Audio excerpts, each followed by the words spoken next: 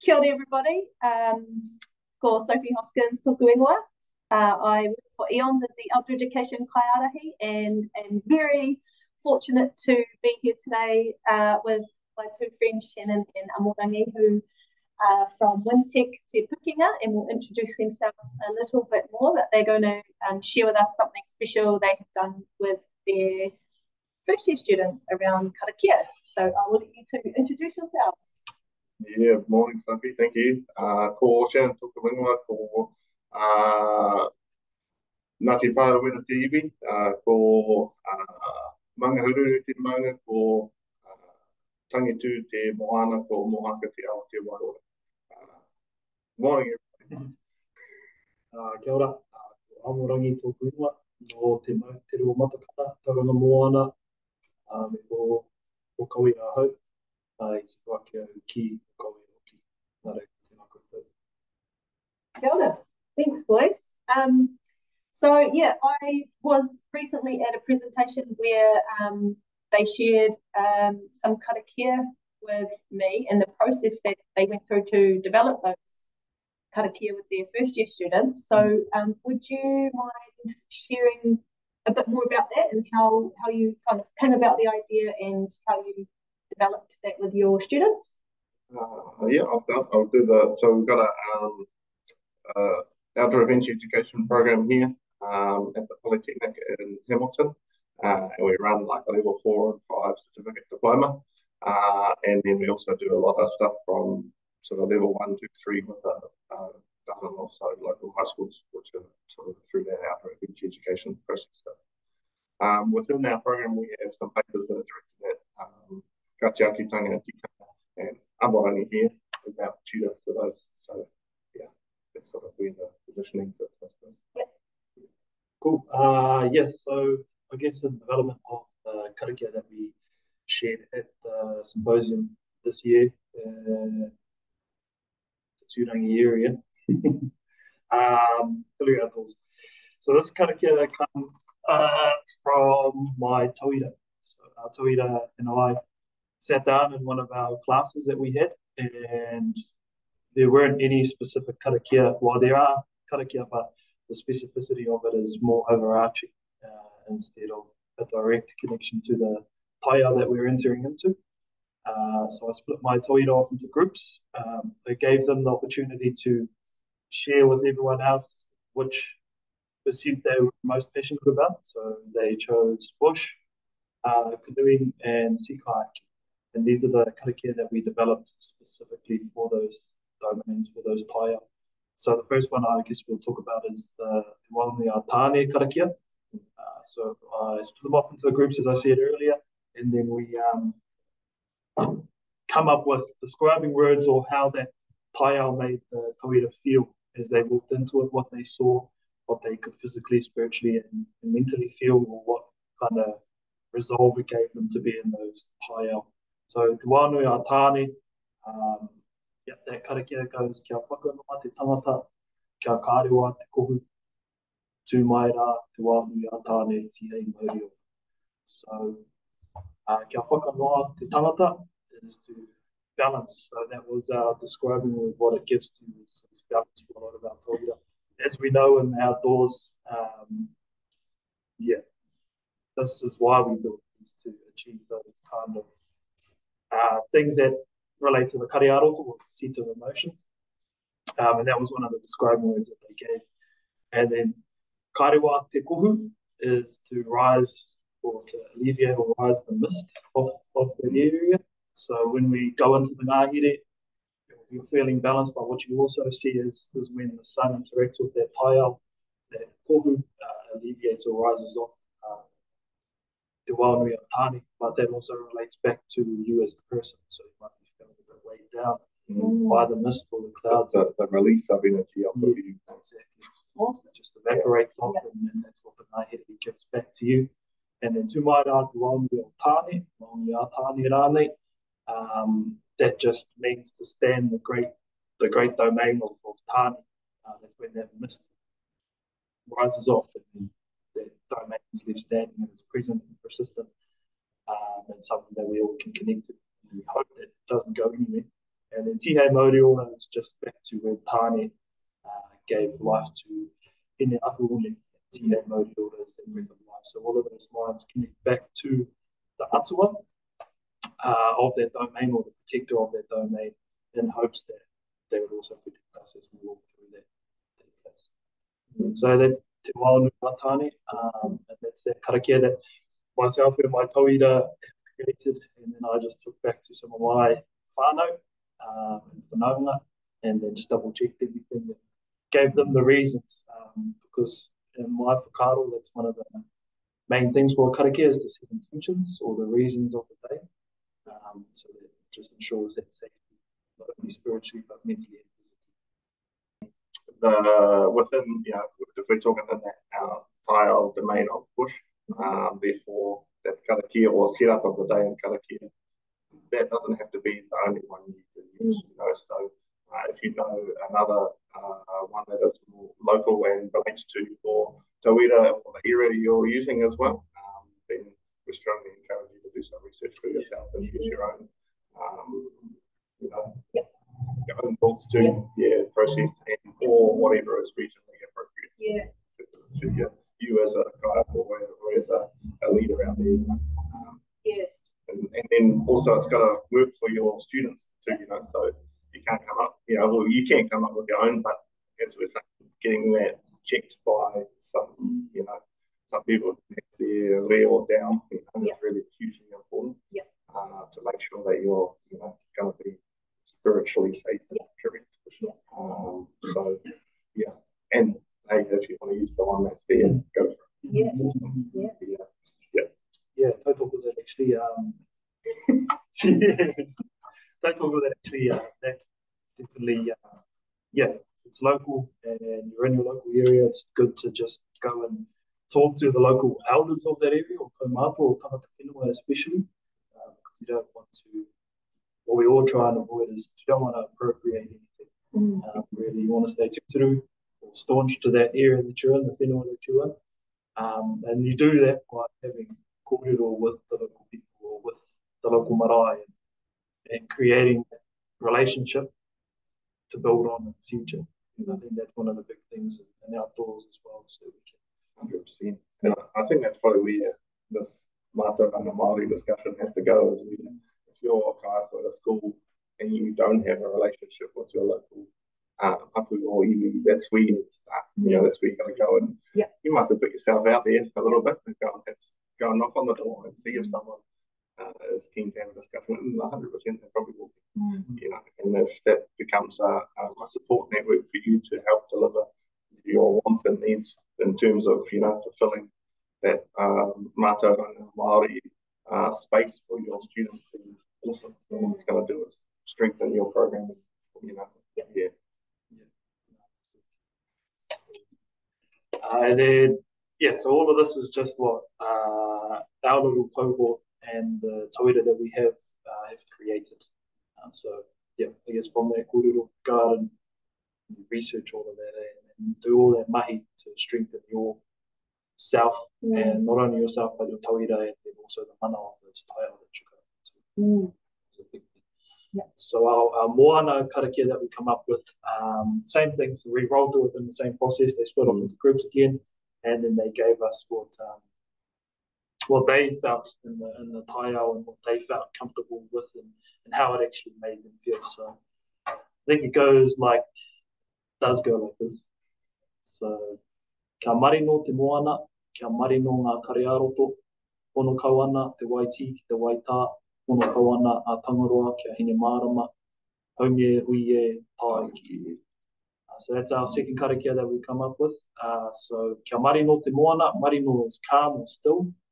Uh, so let the ocean be calm or still. It's like when you get that real glassy day, you're like, yeah, this is this is the one. Mm. And then kia marino ngā karearoto, karearoto is the seat of your emotions, mm. uh, but also a roto is a lake, so it's another body of water. And so calm your your emotions or become tau in that environment, balanced in that environment. Uh, then ono kawana, te waiti ki te waitā, uh, it just means to bond, to join uh, the fresh water with the salt water. As we know, uh, fresh water flows from mountains or lakes into the sea. Um, and then that's that unionship there. And also the stars, the Waiti stars above mm. the Waita star, Matariki. Um, so it's joining those two different taiao together. Uh, and then Ona kawana tangaroa ke hine marama. Uh, tangaroa is the, the, the atua for moana, can be different to different iwi. Um, uh, but here's an atua for that moana. And I think a lot of people identify with that. Some mm. iwi identify with different atua, and then that's up to you to figure out what those mm. different atua are. And Hine Marama is our moon. Uh, and obviously, the moon has a great influence on the moana uh, and the kai within the moana as well. So that's why those two are joining together in this karakia. For me specifically, and for where I jumped in with my whakaaro, I like diving. Mm. So the marama is what we follow for when, when we go diving. Um, and also it's a control of the tide. So it gives us, it tells us when to go out. It tells us when kina are fed or the crayfish are all good or the fishing is good. And then Homie Huye Taiki is just draw and bond, that whole whakaaro, the karakia together with us. Um, the calming of the ocean, the calming of ourselves, the joining of the fresh, the salt water, and then the joining of those two atua, they join to us as well and then ensure that safe passage. Yeah. Yeah. That fresh water is also our rainfall as well. Mm. So when that joins in, you're out there and it's falling down, and you often notice that when it rains, your ocean calms a lot more. You know, more than 10 times out of, you know, yep. you know, when that big storm comes through, she flattens off even more. So yeah. it's kind of an interesting Yep. But you can also use that karakia in a lake basis if you need to, you know, so it doesn't have to be specifically on ocean. Yep. So because, uh, you know, if you think about Tupu Moana, yep. it's a massive lake with a yeah. body of water. So that karakia will cover you in that mm. um, as well, you know, so it's not specifically ocean based, but it'll be a really good one to do, even if you go before you go surfing or mm. you know sea kayaking, canoeing around, you know anything on, big bodies of yep. big bodies of water. Because that's yeah, Moana is just a large body of water. It doesn't yep. necessarily relate back to the ocean. Yeah, just a big, big, huge body of water. Waikare Moana, yep. Taupo Taupo Moana Nui, yep. Atia, Matarurangi Rānei. So yeah, big body of water. Really is what that talks about. Yeah yeah, that's our sea quite a big body of water kind of karakia that we come up with. Um, with all our tauira as well. So all those describing words in there, the calmness that they feel when they see kayaking, or mm. you know, the calmness that they gather from that environment is all yeah. relating back to them. Yeah. Um, so this is all their own lived experiences with a little bit of my salt and pepper, yeah. or our salt and pepper salted in there, and you know, garnishing it a little bit and popping it up a bit. Yeah. I think the important thing of all these is that they're student driven, you know, yep. and that process can be done yourselves as well within, you know, your class, your own classroom. Yep. Um, and you know, but if you can get a buy-in for them, then they're more likely to want to recite those karakia mm. before you go into those spaces yep. to create more. You know, it's like mana enhancing, you know. So you're creating that want for your students to go and you know be a part of that that process. Yeah. Yeah. Yeah, and it's easy as like you know getting someone from the local iwi to come in, and then you just do that same activity, break yeah. them off into groups. What pursuit do you do you love? Do you like, or what gives you this and that, and and then just have your hokainga there, maybe a real speaker, maybe not, and just kind of yeah, back back step from there and create something that gives them mana and they want to say. Mm. You, might, you might even have a teacher on board, uh, yeah. on board at school, yeah. in your in your modern department. Yeah. yeah. So you know, hunt, hunt around, yeah, you know, yeah, yeah. yeah engage with other others. And I think that's what it's more about. Yeah, that process of yeah. yeah. We are in turn giving you what our students have done, but this is just a, a framework for what yeah. you could do. Yeah.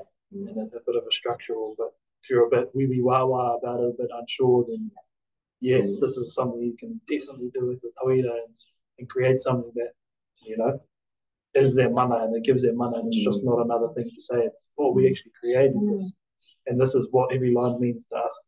And sometimes karakia get a bit mixed up like that. It's we're just mm. repeating something. Yeah.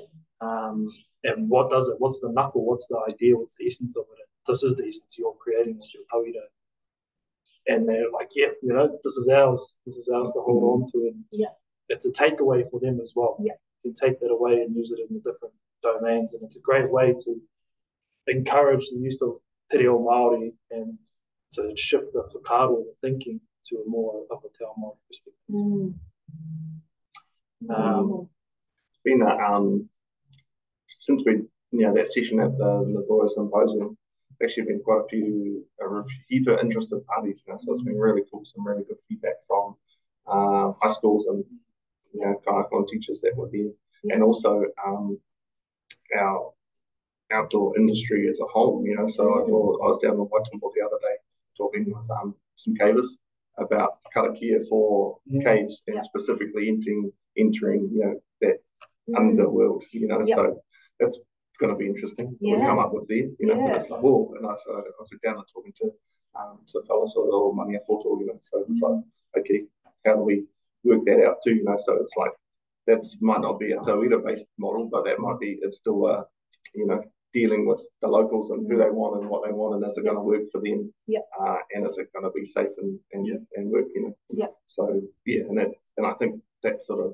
uh, you know there was there's been discussion about you know all our different pursuits too and um, tie up and someone, someone was asking about alpine and snow the other you know all that sort of stuff. It's like oh holy moly. So yeah.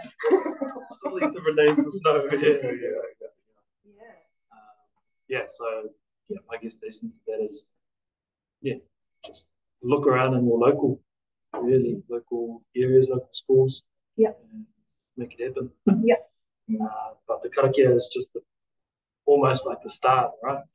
And then it's up to you to dive a little bit deeper, join the real lessons, yeah. you know, all of that kind of stuff. Uh, so our third one that we created or composed or wrote uh, was a river one. Uh, now, this river karakia can be used as like a, a chant. Uh, we've done it on the Whanganui River on the last day from Tieke to Pipiriki.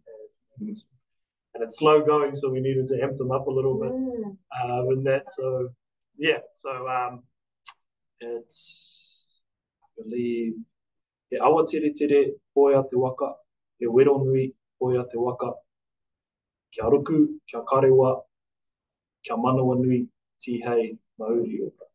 Uh, so that karakia, uh, again, from our students' perspective, uh, he awa tere tere is a swift river.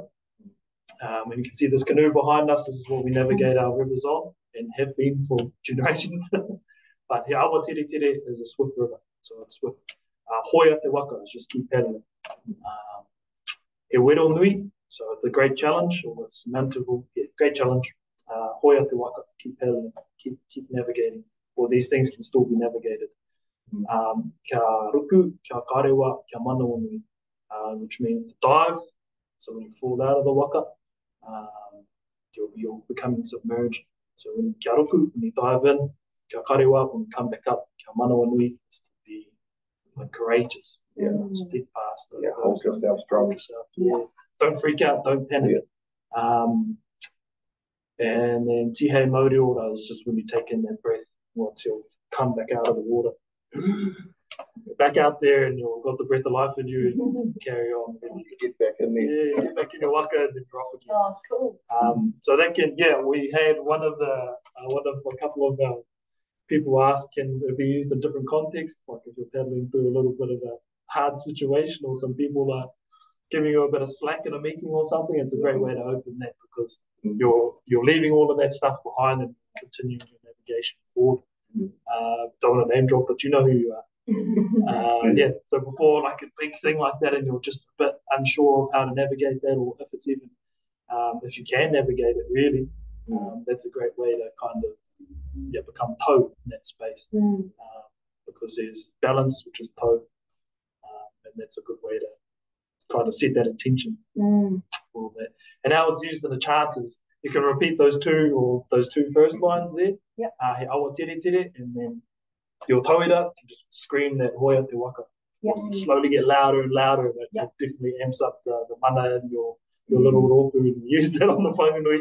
We're all amped, yeah. and then it was slow going. so it was pretty it was pretty crack up. and then there was a couple that swam just before the take So it was appropriate. Yeah, very appropriate. Very oh, appropriate. Yeah, that last big record. Yeah, it was right there. Yeah, yeah, yeah. And there's a little water. So, yeah. It was pretty good. It was pretty good. Yeah, I needed some yeah. Uh, but those are the karakia that we um, composed in, in our little akomanga or akoranga. Um, and that was all student student driven. Mm. Um, and then I was just there facilitating that that knowledge there.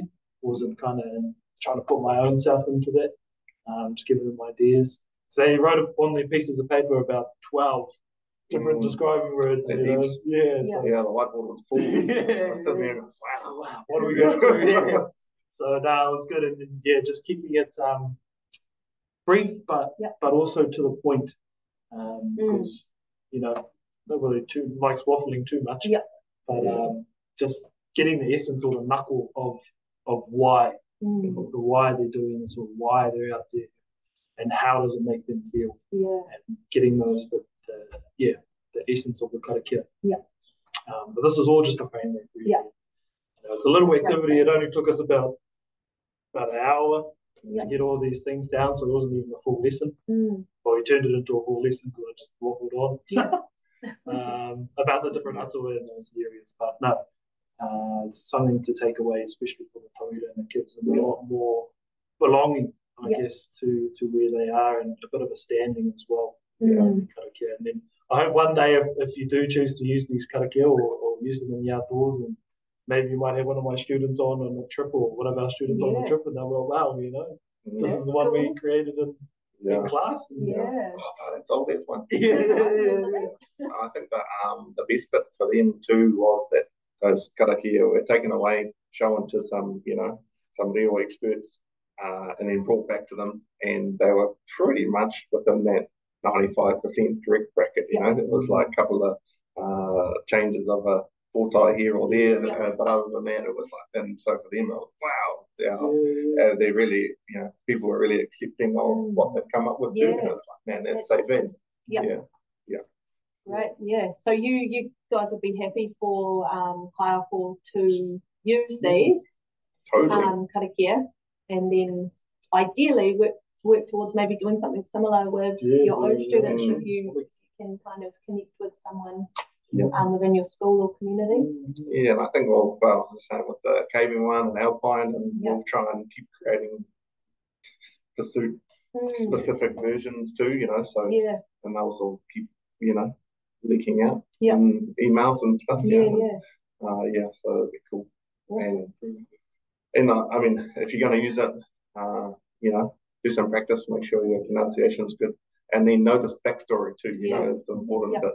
Um, you know, and that's uh, probably more so important with all karakia is Mhm. knowing the understanding. You know, yeah, Yeah. it's not often a, a literal English translation, but you know, there or thereabouts, and then also where that karakia is, you know, derived from. You know, Yeah. so what's the uh, the essence of it? Yeah. and so these ones you can say, hey, these were made by outdoor tauira, so we can use them with our own outdoor Mm, students. You know, sweet as. Yeah. Yeah, total for that actually as well, bro. It's a whakapapa of the karakia. Where, Mm. where does it have its footing and, and how was it created? Mm. Some of the ones that we say today, uh, you know, have its footing in some pretty uncertain times. Mm. Yeah. Um, and for some, maybe some karakia was created as, yeah, a bit of a, like a tatau pounamu almost, uh, or like a peacemaker Yeah. Mm. kind of thing, or poetry, you know. Where does it derive from? What's it for? Yeah. Yeah, who's associated? Awesome. Yeah, a bit of research. for Yeah. Any any final words before I um finish up? Not really. Cool. Nah, thanks Well- for having us on, Sophie. Oh, thank you guys for being so willing to share this, and it's just yeah, such a cool framework, and um, I think your students are super lucky to have you guys um, with that really strong, you know, Te Ao Māori um, perspective coming through your program. It's pretty special, and um, I'm sure you've got some really epic um, kind of graduates coming out. So Mm. Forward to seeing them out there in the industry and in with our, Mm. you know, with our schools as well. So Totally, yeah, yeah, yeah, thank yeah. you I mean, so much. no, no, thank you. And obviously, yeah, EONZ, um, yeah, awesome. They see that you're chasing that Mātauranga Māori aspect is awesome too. You know, this whole journey that the organisation's on is Mm. top notch to have a look at and see the process, you know, so, Mm. and see that the want is there. Yeah, Yeah, so, Mm. yeah, cool. Awesome. Thanks, guys.